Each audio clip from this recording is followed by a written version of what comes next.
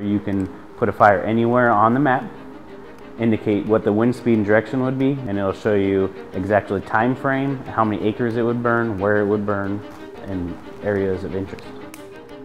The type of technology is a geographical information system. And basically a geographical information system allows you to put data into a map.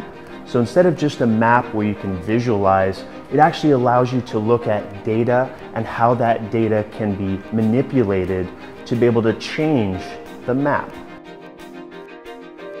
Not only can we roughly estimate what the exact fire is doing at this current time and place, we can speed up time indicating, okay, there's gonna be a wind shift at 3 p.m.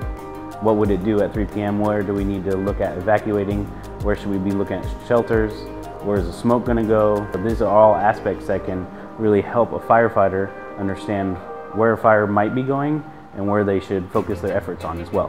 One of the main activities we do here at the Viz Center is to conduct research in the Homeland Security and humanitarian aid areas and we partner with vendors. This technology is manufactured by a company called SimTable, and we work with SimTable helping them to develop the technology, find issues, and also take it to the next generation to see how we can put something in the hands of first responders to help them fight fires and disasters.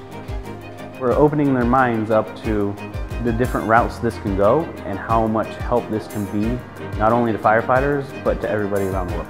Partnerships are really important because it allows us to really apply academia and research out into the real world. And we conduct a lot of the research of using the device to be able to see how we can improve the technology, what kind of new mapping and simulations we can run through the sim table, and also how first responders in the San Diego region would be able to use it. Obviously, we want to put something in the hands of first responders that they can use wirelessly, they can use on their mobile device, something that's simple and easy to use so that the firefighter in the field can actually use it to help save lives and save structures.